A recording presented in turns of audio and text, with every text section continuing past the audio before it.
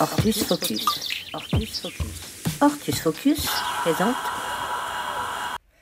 Leur jardin des sables dans la Drôme, Annie et Jacques l'ont souhaité ouvert à tous. Pas de porte, pas de clôture.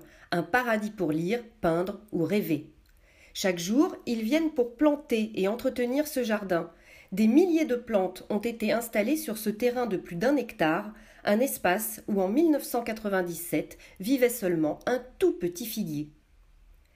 J'ai trouvé un champ avec des herbes folles, un terrain plat, nul et a priori sans intérêt. J'ai dessiné sur papier, j'ai fait mon plan et j'ai dessiné les allées principales et les massifs, euh, les massifs, parce qu'un grand jardin, il faut des grandes lignes. Enfin, pour moi, il faut des grandes lignes. Donc euh, voilà, je me suis lancée sur papier d'abord. Et au fur et à mesure des années, j'ai planté, j'ai planté. Je trouve qu'en 20 ans, euh, le jardin est quand même bien abouti. Donc il n'était pas si nul que ça, ce terrain. Chez Annie, les fleurs ne sont pas très nombreuses. En revanche, elle nourrit une passion pour les arbres et les arbustes, les espèces communes et les plus rares, et même pour les envahisseurs qui se multiplient dans la partie sèche du jardin et surtout les sumacs de Virginie. Il n'y en avait qu'un au départ, mais ça se propage de partout.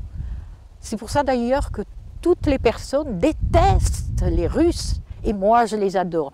Parce que quand on, voit ces coloris orangés à l'automne, mais c'est une splendeur. Dans ce jardin, pas question de vouloir dompter la nature. On élague et on nettoie parce qu'il le faut bien. On taille si on ne peut pas faire autrement, comme ce junipérus qui débordait sur les allées. Sinon, les plantes doivent apprendre à se débrouiller toutes seules. Ici, c'est où tu marches, où tu crèves. Voilà. C'est un peu dur de dire ça, mais je ne peux pas mettre un cache-nez à toutes mes plantes, je ne peux pas m'occuper d'eux chaque année en remettant du terreau, etc. Non, ça, c'est pas moi. Et elles me le rendent bien.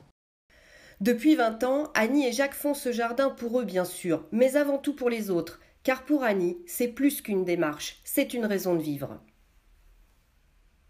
Je fais des connaissances magnifiques rien que par le jardin. Et, tous ceux qui entrent, généralement, sont des gens euh, adorables, gentils, euh, connaisseurs ou pas, ça on s'en fout. Ils aiment le jardin. Et il y a une espèce de, respect qui s'installe et puis, euh, puis on peut discuter.